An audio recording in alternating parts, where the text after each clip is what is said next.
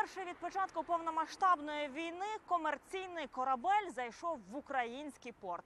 Це відео з Чорноморська світове інформагентство Reuters опублікувало в неділю. Газета Політіко тим часом детально прописала маршрути чотирьох суден, які покинули Одесу та Чорноморськ, завантажені продовольством. За рухом суден з України здається, тепер спостерігає увесь світ.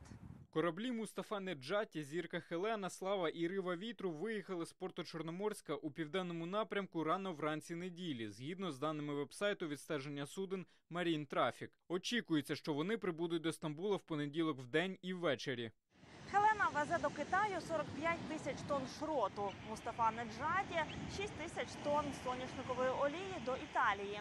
Слава 66 тисяч тонн кукурудзи до Стамбула. А рева вітру ще 44 тисячі тонни кукурудзи до турецького Іскандеруна. І поки західні змі публікували ці маршрути у Ватикані, папа Римський у своїй недільній молитві згадав і українське зерно.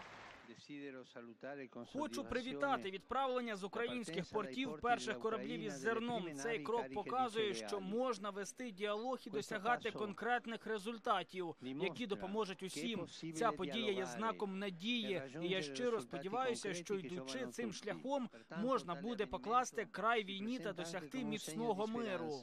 Український президент тим часом у відеозверненні у суботу, хоч і назвав позитивними останні зрушення, все ж застеріг. Не все так просто. Наші порти у Чорному морі знову працюють.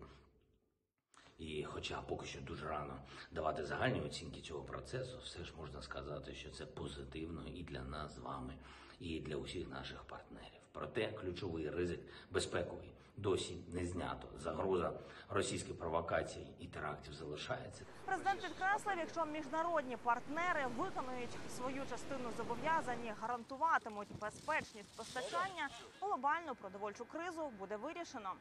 Міністерстві інфраструктури заявили про плани уже найближчим часом пожвавити роботу портів та відправляти до сотні суден за місяць і відповідно 3 мільйони тонн збіжжя за цей час. Олена Абрамович, Віталій Коваленко для єдиних новин. Подробиці Європейське бюро телеканалу Інтер.